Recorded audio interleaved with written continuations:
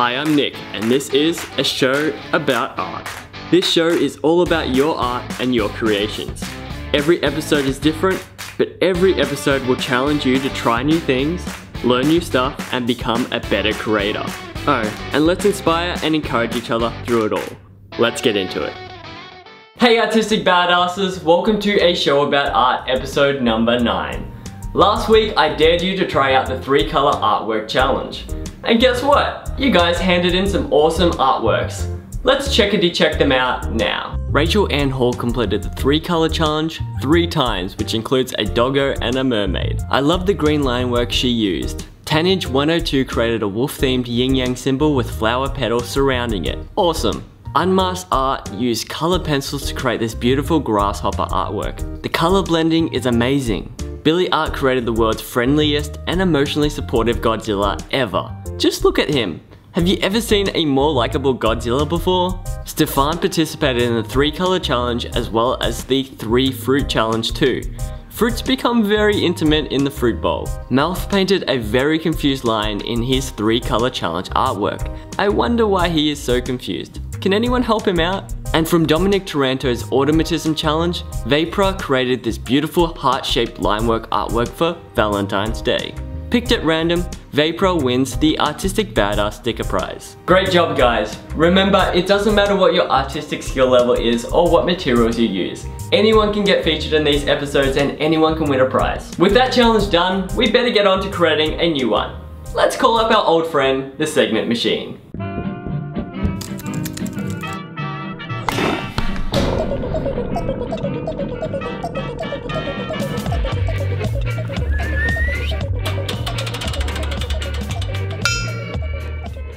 Today, we'll be drinking some coffee. But Nick, this is an art show, not a coffee show. And to you I say, coffee comes first, then art. But what if they could be done at the same time? To cut a short story even shorter, today we're using coffee and tea as if it were a watercolor paint. So what materials do we need to get this project caffeinated and ready to go? That's a good question.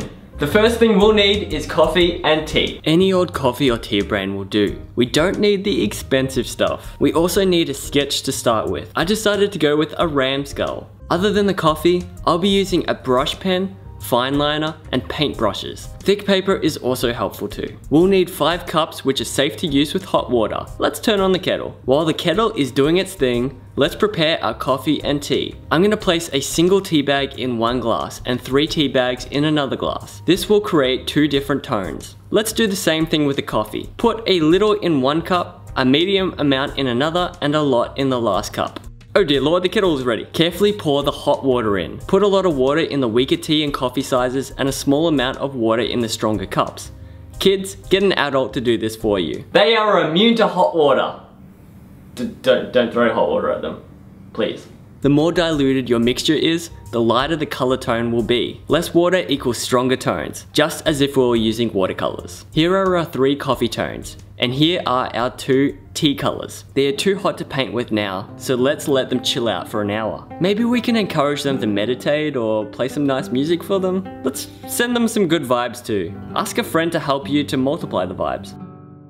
And now that they are fully chillaxed, we can start painting with them. Actually, before we start painting with them, let's test out the colors to see what we're dealing with here. We have three different tones of coffee and two tea tones. We can use the lighter tones in our artwork first and then start to build up the shadows with the midtones and the shadows with the darkest tones. I think we'll use the two tea colours for the goat horns as they are typically a slightly different colour to the skull. Let's start painting the goat skull first using the lightest coffee tone colour.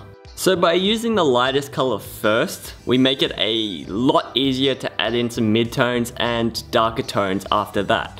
If we started with the dark tones first and then had to add in some like lighter color and then some lighter colors on top of that, it would be pretty, pretty impossible. You need to use white pens, you need to use white paints, um, and it's just really hard to add on to darker layers first. Um, so doing this way is definitely the easiest way. In traditional media, that's probably the best way to do it, but if you're painting in digital, you can always paint lighter and it doesn't, it works way better than what you'll do in traditional media. Um, so right now I'm just adding some of the dark shadows to the skull just to make it look a little more realistic and a little bit more 3D as well as just the coffee looks awesome when it blends in together to the paper when it dries. Has this kind of kind of ripply effect, um, kind of like as if pixels were breaking up, I guess. That's the only thing I could really refer to it. And when you're using watercolors, you never really get that effect at all. Um, so now I'm just kind of adding some darker tones. It was a little bit difficult to add darkness, even though the coffee mixture that I was using for the dark tone was really hard. And there was a lot of waiting for that watercolor paints to dry, um, which turns you a little bit crazy. Um, but eventually it did work. So now I'm using the tea artwork to, to make these horns here. Um, so generally the goat horns are a little bit of a different color to the goat skull because they, a, they are made from different materials. The goat skull is made from bone obviously, but the goat horns are made from a different material um, which is sort of like the nails that humans grow on their hands. It's kind of, it's not really bone, but it's a very hard, solid material, and that's what they grow their horns with. I'm not sure why they do this. Um, bone sounds pretty cool, but um, I guess maybe it grows back or it's less painful when it breaks off. Um, I'm not sure, we have to ask and interview a goat for those specific um, details about their evolution. Um, obviously, we'll probably have to find an alive goat, um, probably a dead one, like I don't think skulls really talk that much, um, unless you're Hamlet. Um, that was a horrible reference. I, apologize for that. but yeah, uh, it's a different material, so that it is a slightly different color. And I found when I was painting the horns, I'm not sure if it was because of the tea colors that I used, um, but it was really hard to add depth and shadow using the tea color. So I resorted to using the coffee tones. Um, with the horns, it was yeah, I'm not, I can't put my finger on why it was so difficult. Maybe I didn't wait for the colors to, or the, the water to dry enough before adding midtones and shadows, but yeah, it was a real struggle to do that. So it was just a matter of waiting for it to dry, adding more more coffee tones to the to the darker lines um, over and over and over again. So it did take me longer to actually paint the horns and get that to a state which I really liked. Um, rather than the skull, which was really, really easy. Maybe maybe the skull was beginner's luck using um, coffee coffee art. I don't know. Um, has anyone else experienced this? I, I probably not. Um, but yeah, so I started adding some splashes and some some drips, I guess, to the artwork by using paper and smacking the the, the paintbrush on that, um, just not to get it onto the skull. Uh, I thought this kind of cool effect would match the sketchiness and, and the rough style that I was going for here. And with the line work, I was able to do this as well. I used a natural kind of kind of brush, the brush pen, which adds not perfect lines, but varying brush stroke lengths and, and sizes, which makes it look like it was painted really roughly, which is definitely the effect I'm going for here especially with some of the watercolor bleeds out of the lines as well, which technically, if you're a fine artist, maybe you don't want this, but if you're going for a rough, rough look like I am, it's definitely adds to the aesthetic. Um, so the texture of the coffee that I put down on the paper was actually a little bit rough. It was kind of like a sandpaper. There's a bit of sediment on there. Obviously they're not made for watercolor so they don't blend to the paper completely flat. There's, there's a little bit of roughness, there's a little bit of coffee grain in there too. With the fine liner that I'm using now, which I'm doing a little bit of cross hatching right now, I kind of I noticed a lot of it, it was like painting on sandpaper or drawing on sandpaper, so there's a bit of resistance there, but it wasn't enough to stuff up my pen like some other paints can sometimes do. Um, fine liners aren't as robust as you would think. So the cross hatching really helped bring out that aesthetic of being rough and having a unique look. Uh, so I just kind of built that up to the in the shadows and left it at that.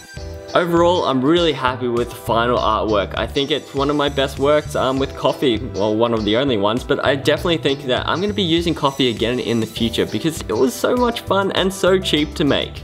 As you can see, there's a lot of leftover coffee and tea. Maybe I should drink it all.